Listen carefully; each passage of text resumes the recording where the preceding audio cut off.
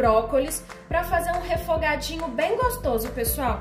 Então aqui eu já tenho a folha do brócolis já bem higienizado, tá? Vou estar picando, pessoal, como se eu estivesse cortando a couve, tá? Vou picar da mesma forma. Me diga aí nos comentários o que você faz com as folhas do brócolis. Você joga fora ou você aproveita também? Então eu vou fazer esse processo, vou estar picando e já já eu volto para estar dando sequência. Pessoal, aqui na panela eu já coloquei um pouco de óleo. Vou colocar aqui, ó, alho ralado. As folhas do brócolis já estão picadas, tá, pessoal?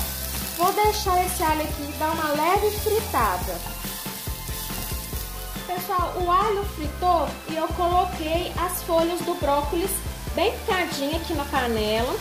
Agora eu vou estar misturando aqui para essas folhas aqui dar uma refogada, tá? Então, pessoal, já refogou. Esqueci de mostrar para vocês, pessoal, mas eu coloquei uma pitadinha de sal. Lembrando que sal é sempre a gosto. Então, está pronto. Tá dessa forma aqui. É uma né, das formas que eu aproveito a folha do brócolis. Espero que vocês tenham gostado da minha sugestão. Não joguem fora e aproveitem, porque é muito bom.